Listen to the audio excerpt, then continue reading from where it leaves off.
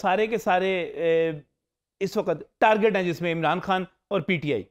नजम साहब इसमें यह है कि जो मनी ट्रेल है ना जो एक दूसरे से कनेक्शन है वो बड़े इंपॉर्टेंट है। अच्छा। तो अब नैब ने इंक्वायरी शुरू की जो सेक्रेटरी पंजाब असम्बली मोहम्मद खान भट्टी के खिलाफ उसी इंक्वायरी में उन्होंने फिर मोहन सलाही को भी नोटिस जारी किया उसी इंक्वायरी में उन्होंने अली अफजल शाही को भी नोटिस जारी किया और उसी इंक्वायरी में वो मजीद अफराद को भी जो है वो मुलविस करें। एमन के सबक वजी अला पंजाब चौधरी परवेज़ लाई से भी तफ्तीश का नैब इरादा कर चुकी है कि इनको भी हमने इस मामले में रैक करना है। आमदन से जायद असासा जात एक ऐसा चूरन है जो हर जगह पर फिट जाता है। तो वही जो तरीके इंसाफ ने किया था कि हर लीगी रहनुमा के खिलाफ आमदन से जायद असासा जात अगेन मुस्लिम लीग नून और जो उसके इतिहादी हैं इस वक्त वो उसी पैटर्न पे चलते हुए उसी तरह महकमों को इदारों को यूज़ करने की कोशिश की जा रही है कि उनको बुलाया जाए। अभी कल ही जो उस्मान बुजार हैं, जो वसीम अक्रम प्लस भी जिन्हें इमरान खान साहब कहते थे, हालाँकि कल जेल भरो तहरीक का भी ऐलान था, लेकिन उस्मान बुजार साहब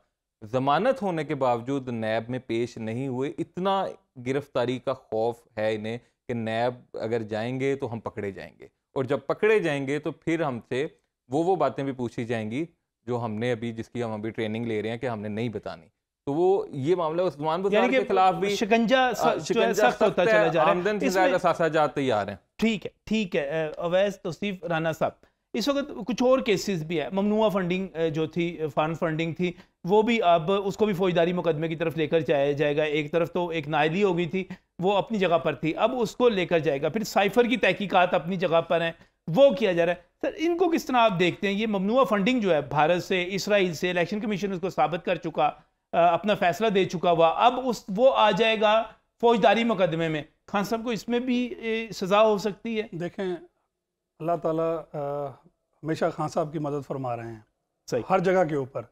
कल चेयरमैन नैब का आप जो उनके अफसरान को ख़ताब है वो आप देख लें। सही। उन्होंने वाज तौर पर कहा है कि मुझे मेरे ऊपर बहुत ज़्यादा प्रेशर डाला जा रहा है कि तहरीक इंसाफ के लोगों को अपोजिशन के लोगों को जो है गिरफ़्तार किया जाए या जो भी उनको नोटिस किया जाए जिस तरह से जो भी उनके ऊपर आमदन से ज़ायद असासा जात जो अभी आपने फरमाया, वो उनके ऊपर केसेस डाले जाएँ।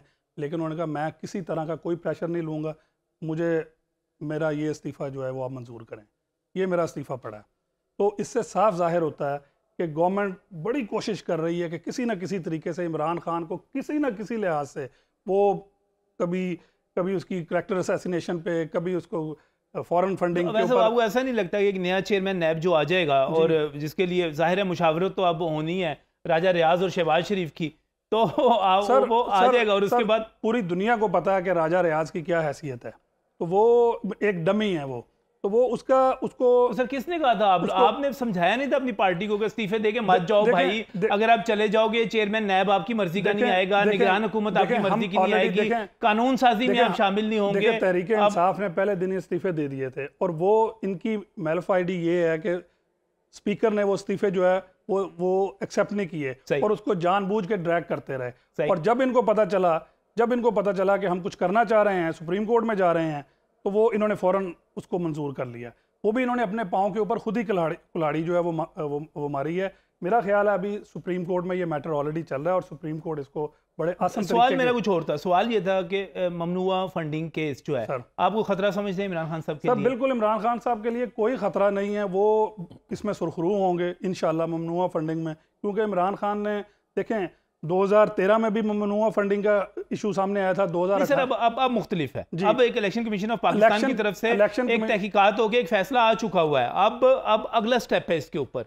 इलेक्शन कमीशन और गवर्नमेंट का जो गठ जोड़ है वो भी बिल्कुल सबके सामने है। वो भी वो इलेक्शन कमीशन अपने हाथ से कोई मौका अपने हाथ से जाने नहीं देता जिसमें वो इमरान खान को वो रगड़ाना लगा रहा लगा रहा हो सही है। लेकिन इमरान खान अल्लाह के फजलो करम से इलेक्शन कमीशन से भी निपटेगा। और इस हुकूमत से भी निपटेंगे। इस हुकूमत से निपटेंगे और इलेक्शन कमीशन से भी निपटेंगे। खालिद नवाज़ घुमन साहब ममनुआ फंडिंग केस कोई खतरा है इमरान खान साहब के लिए? डेफिनेटली इसमें हंड्रेड परसेंट श्योर साबित हो चुका है इलेक्शन कमीशन में। ये कोई आज का केस नहीं है। ये अरसा दराज पुराना केस है जिसमें खान साहब ने सही है। जी जी जिसमें खान साहब आए दिन जो है वो लेते, लेते थे। इनका दिल ही नहीं करता था कि वहाँ पे जाके अपने वकला सफ़ाई या ख़ुद जाके पेश हो गए तो उसमें अपनी सफ़ाई बयान कर सकें। ये एक इनका यही रवैया जो अभी तक चला आ रहा है कि अदालत अगर ये मामला जो है फौजदारी मामला बनता है इसमें मुकदमा दर्ज होता है जिस तरह के अब इस पर तहकीकत शुरू की जा रही है एफ़ आई ए भी कर रहा है बाकी भी कर रहा है इसमें सज़ा हो सकती है? बिल्कुल सज़ा हो सकती है जी इसमें हंड्रेड परसेंट हो सकती है क्योंकि जो फ़र्स्ट फोरम था इलेक्शन कमीशन ऑफ़ पाकिस्तान का उसमें इनकी फॉरेन फंडिंग मेरा ख्याल है सिक्सटी सेवन अकाउंट्स में साबित हो चुकी हुई है जिसमें इंडिया के अकाउंट्स हैं इसराइली कंपनीज़ के अकाउंट्स हैं बाकी और कई ममालिक के अच्छा एक चीज़ हमेशा से जब हम सारे मुकदमात की नज़र नाजरीन बात करते हैं तो मैं आखिर में एक और बड़ा अहम संगीन इल्ज़ाम जो है वो कासिम सूरी साहब पे इमरान खान साहब पे आरिफ अलवी साहब पे सुप्रीम कोर्ट ऑफ़ पाकिस्तान का फैसला है। तहरीक अदम अतमाद के हवाले से जब आइन को सबोताज किया गया और कहा गया और सुप्रीम कोर्ट ने अपने फैसले में ये लिखा कि आप आइन को सबोताज करने के हवाले से कार्रवाई कर सकते हैं। वो कार्रवाई हुकूमत पाकिस्तान ने करनी है। वो कार्रवाई नहीं हो रही, हो सकती है। बिल्कुल जी, मेरा ख्याल है नजम भाई, शायद आपको याद हो, पिछले प्रोग्राम मैंने आपकी जो तवज्जो इसी तरफ़ दिलाई थी कि चीज़ें इन प्रोसेस हैं। देखें, एक चीज़ मैं छोटी सी यहाँ पे ज़रूर कहना चाहूँगा कि जब खान साहब गवर्नमेंट में आए तो उस वक़्त इन्होंने झूठे केसेस जो बनाए, शहबाज शरीफ को या मियाँ साहब को गिरफ़्तार करने के लिए जगह जगह पे छापे मारे, इतनी ह्यूमिलेशन क्रिएट की गई। कभी शौकत भट्ट के घर जा रहे हैं, कभी रोहेल असगर के घर जा रहे हैं, कभी जाती उमरा जा रहे हैं, कभी वन एटी एच पे हमले कर रहे हैं, ठीक है? वो खुद आके अपनी गिरफ्तारियाँ दे रहे हैं। लेकिन अब ये देखें कि वक़्त का इंसाफ, ये देखें कि अल्लाह ताला इतनी मदद कर रहा है कि गवर्नमेंट का कोई ऐसा ऑर्गन इनको इनको इनके घर से निकालना चाहे तो एक मिनट का काम है।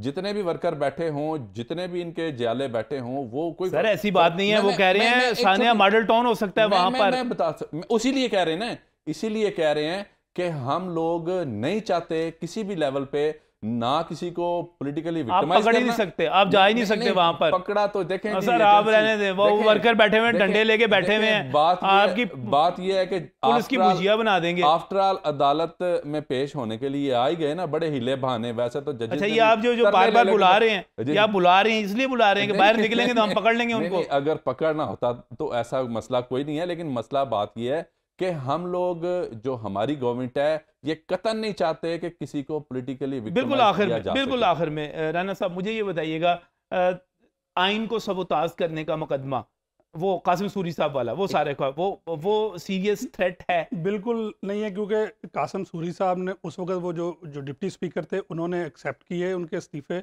और वो बिल्कुल आइन और कानून के मुताबिक किए। नहीं वो सुप्रीम कोर्ट का फैसला उस पर कुछ और है। सुप्रीम कोर्ट बाकी जो भी सुप्रीम कोर्ट इसके ऊपर फैसला करेगी वो सर आँखों पे। सर आँखों पे। लेकिन लेकिन अभी आप ये समझ रहे हैं कि अभी वो कोई गैर आईनी कुछ इशू नहीं है। ऐसा कोई बात नहीं आप कोई कमेंट करना चाह रहे थे। छोटी सी छोटे छोटे दो फिक्रे बोलना चाहता हूँ। एक तो तीन सौ सत्तर अरब आप कह रहे हैं ना कि केसेस मनसिलाही और ये इनके जितने भी पिछले दिनों मेरे वकील भाई भी थे वो भी उसी में आए। ये इन्हीं की आपस में जमान पार्क में लड़ाई भी हुई परवेज लाई की और खान न्याजी साहब की। कि ये कहाँ से इतने आप लगा रहे हैं? फ़र्क होगी। कई इश्यूज़ ऐसे हैं रही बात आर्टिकल सिक्स वाली इसमें सुप्रीम कोर्ट ने डिक्लेयर किया हुआ है। ये रेफरेंस तैयार है इनशाला ताला बहुत जल्द ये भी फ़ाइल हो जाएगा। रही बात ये भी याद रखिए उस पे अभी रही बात इस्तीफे रही बात इस्तीफों की। रही बात इस्तीफों की रही बात इस्तीफों की तो इस्तीफे कभी दे रहे हैं कभी ले रहे हैं। शुक्रिया। खालिद गुमन साहब राना अवैध साहब आपका बहुत बहुत शुक्रिया।